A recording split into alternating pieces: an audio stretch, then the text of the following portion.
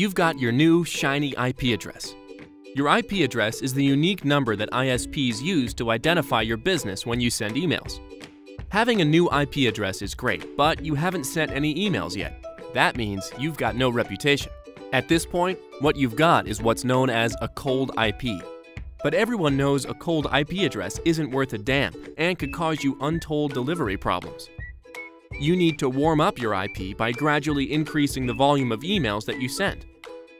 ISPs are constantly monitoring activity related to your IP address and checking for anything suspicious. If they find anything, your emails may not get delivered. When that happens, your business loses a critical channel.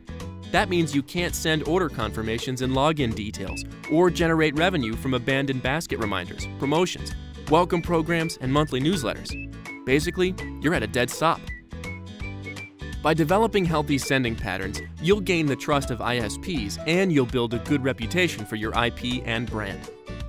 At SmartFocus, we've been working with retailers like you for over a decade, and we're one of the largest senders of emails in the world.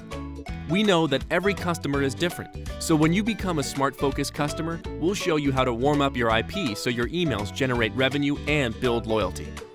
Come and talk to the experts. Learn more at www.smartfocus.com slash getwarmedup.